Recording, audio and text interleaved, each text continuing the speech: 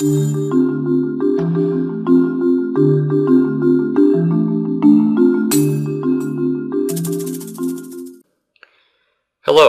In this video, we'll take a look at some of the report templates that are packaged with Liberty Reports. We'll take a look at how to run the reports and also how to access the reports via Liberty Reports Desktop. Liberty Reports Desktop is a program that's installed with Liberty Reports that organizes all of your reports. So if I look at the Sage 100 Contractor tab, I see all the reports that apply to Sage 100 Contractor. I can also add my own reports to this tab. Also within Liberty Reports Desktop is the Welcome tab. This is your access point for gaining access to all the product documentation. We're going to go back to the Sage 100 Contractor tab, and we'll start with the financial statement report. To run the report, I simply double-click on the file. The first thing that I'm prompted for is to select the Sage 100 Contractor database that I want to report off of. In this case, I have two to pick from. I'm going to select the sample company.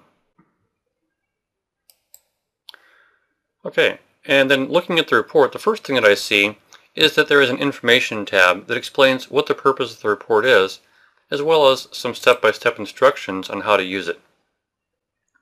If I go to the admin tab, I'll see that there's some information here that I can supply to identify the report parameters. Now notice that currently the, the current fiscal year is not shown. I'm going to go ahead and refresh the report and upon doing so I'm prompted for my login information for Sage 100 Contractor.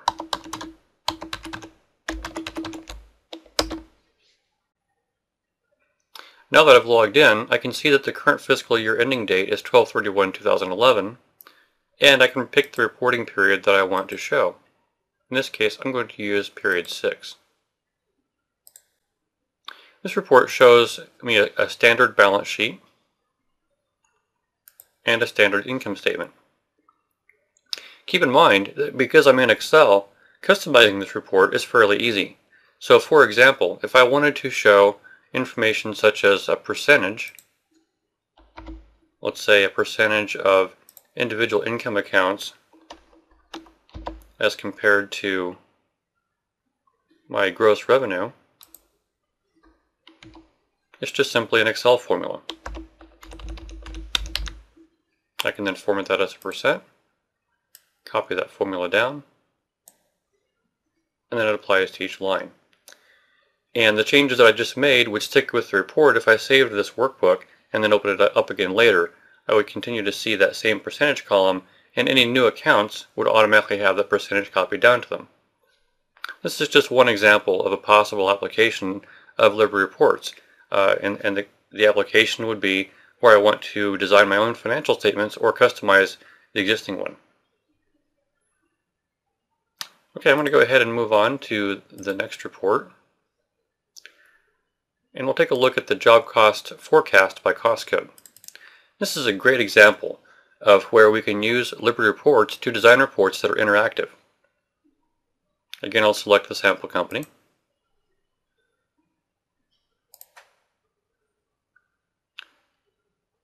And I'm going to go ahead and use the refresh button on the Liberty Reports toolbar to make a connection to my database.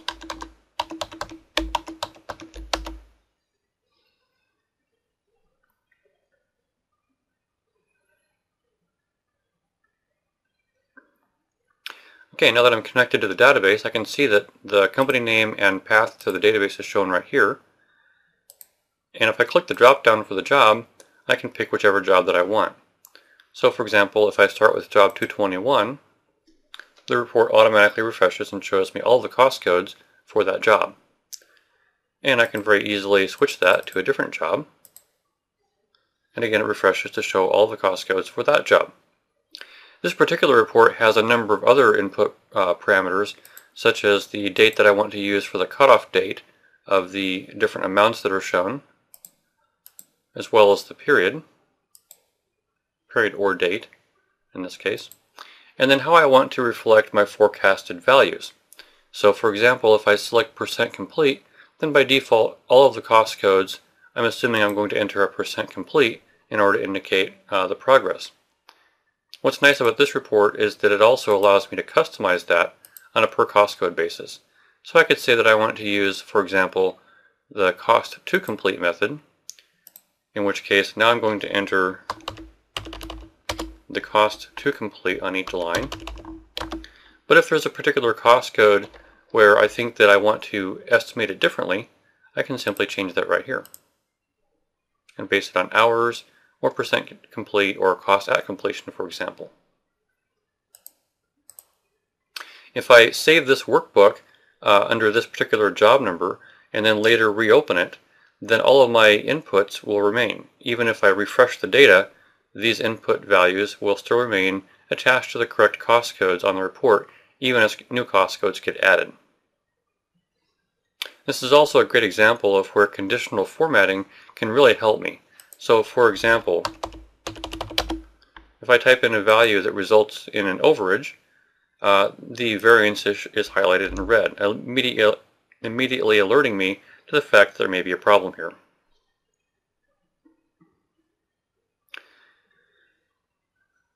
And then also you'll notice that on this report there are some column groupings. So if I choose to see additional information, such as the breakdown of the budget, original versus approved and whatnot, or breakdown of the hours, I can simply expand those columns to see those additional details so I can control the level of detail that I want to see at any given time. Okay, let's move on to the next report that we're going to look at. And that'll be the job list with maps and weather.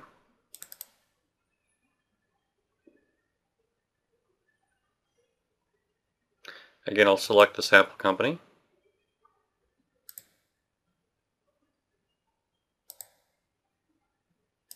And let's refresh the report.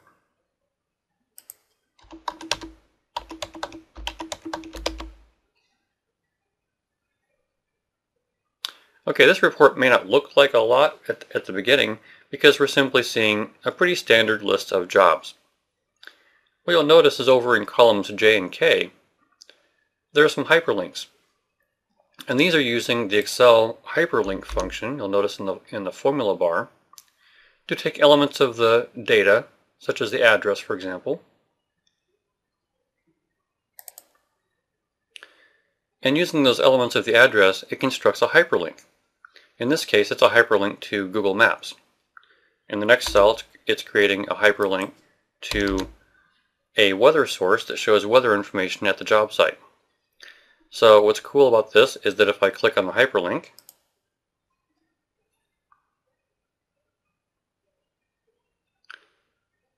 It opens up Internet Explorer or your default web browser and shows me the location of the job. And of course, depending on the location, I might also be able to get a street view and see exactly where that job's at. Obviously not real time, but it gives you a good idea of the location of the job if you needed to get driving directions or just get a general idea of where it's at. And the weather link works very similarly in that when I double click or when I click on that it will open up to weather.com and show me the current weather conditions. The point here really is simply that that I can now take reports that might have been just static content and link them to other things that might contain other useful information. Again, making reports more dynamic and interactive. Okay, I'm going to go ahead and close this report and we'll move on to the next one. So we'll take a look at the job schedule.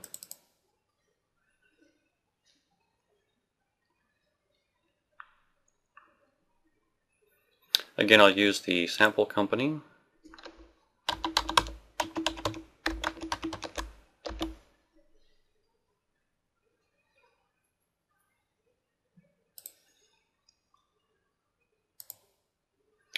And for the job, I'm going to select our burrito number 8 job. And what this report is showing me is schedule information that's in Sage 100 Contractor. Uh, the report itself is simply returning the start and finish date for each task. over to the right, I'm just simply using some basic Excel formulas to indicate whether to shade the box or not, and then using conditional formatting to shade the box either blue or white or gray. This allows me to create in effect what looks like a Gantt chart. And so I can very easily scroll down through the job now and see where or at what point in time each task has been scheduled. And using the controls at the top, and these are simply just built-in Excel controls, I can scroll through this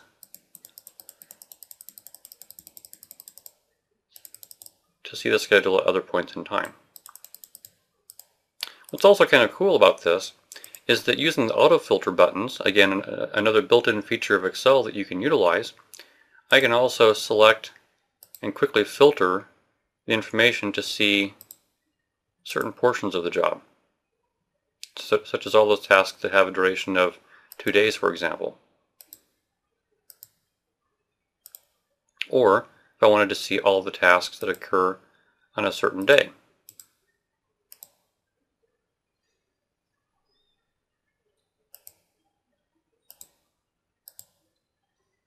So again, this is a great example of, of using auto filters to very quickly uh, filter the information to see only the specific areas that I want. And also just using some built-in Excel functionality to give me a graphical and very interactive view of, of my information. Okay, let's move on to the next report. And that would be uh, ledger transactions.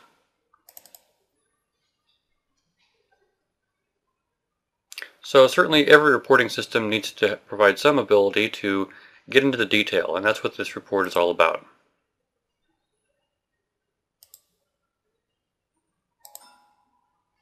So on the Admin tab, I can select some criteria to determine which set of transactions I want to see.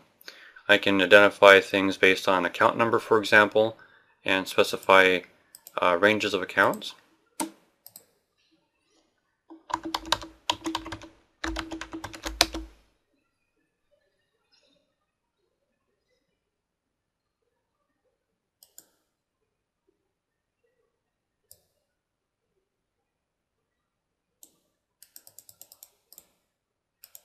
So I'm going to select all of my direct cost accounts in this case.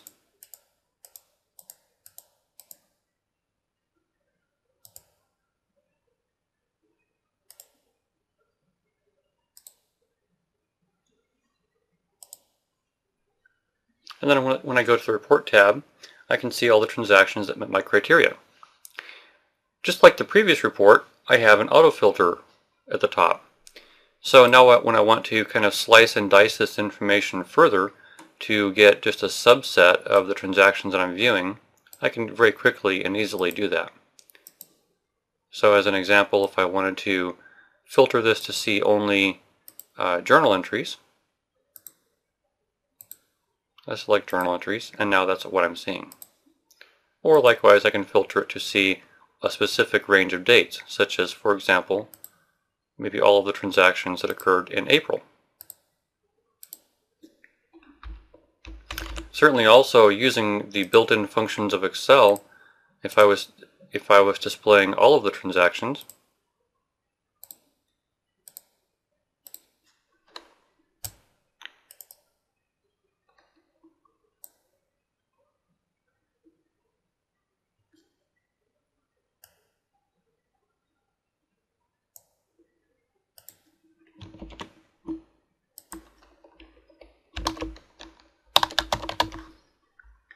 I could use simply the find function to go and find something that I'm looking for.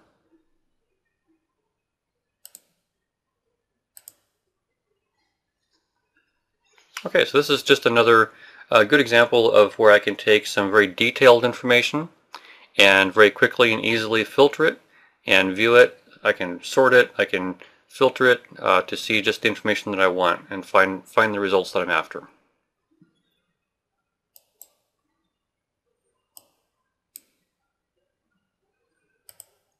Okay, next we'll take a look at the Project Manager Weekly Job Summary.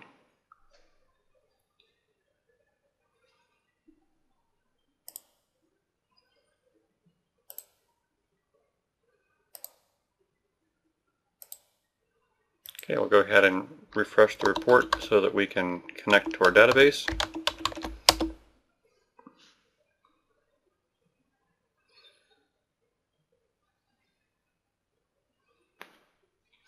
Okay, like the other reports, I have some options on the admin tab where I can select some things that would filter the report to show just the information that I'm after. I'm going to go ahead and just accept the defaults in this case. And then I'll go to the job summary tab. Now in this case, we're actually pulling in a variety of different kinds of information onto the same report. So for example, I'm not just seeing a list of jobs here, uh, but I'm also seeing uh, the contract information for the job, the billing information, including receivables and what's currently due, the budget for the job, including budget changes, the actual cost to date, and that includes an assessment of how much is unpaid in my accounts payable system, and then some calculations of what my gross margin is and so forth. Using some of those column totals, such as the receivables and payments, and what's been paid to date and, and what's been received, I can also get a picture of the cash flow on the job as well. So I can see what my net cash flow for the job is to date. And I can also see what the projected cash flow is based on the current receivables balance and the current payables balance. A great way to monitor the, uh, the cash position or cash impact of a given job.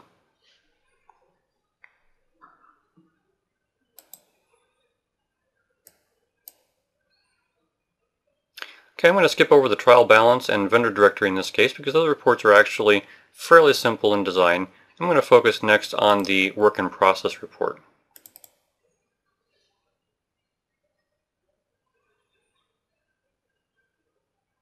Okay, again I'll select my sample company.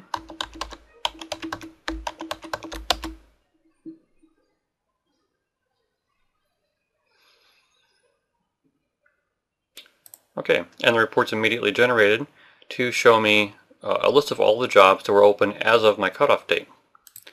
And what's important about this is that I can actually change this.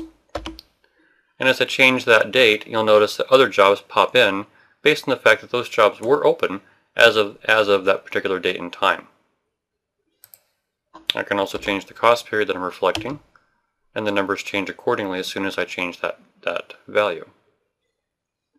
So again, just another great example of taking a pretty standard report and making it a bit more interactive and also being able to make the report date sensitive and have the report automatically refresh as I would change different inputs.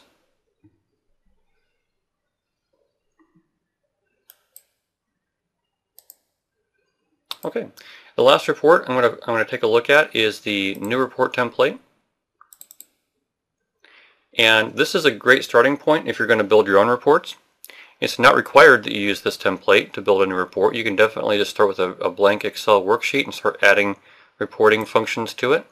Uh, what this report template does for you is it provides a little bit of structure so that if you wanted to have your reports look more like the reports that are built into the software, you can do that.